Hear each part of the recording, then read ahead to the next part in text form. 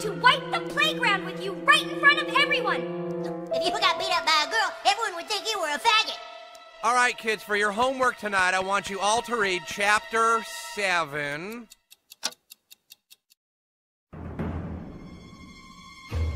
Kick the shit out of him, Wendy. As soon as the bell rings, we gotta get out there and find a good place to watch the, the fight.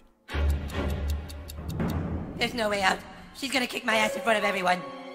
Almost done. And be ready for a quiz tomorrow morning. I totally can't see the fight, dude. I've got detention after school. Detention. That's it. I gotta get detention! Fast! Yeah.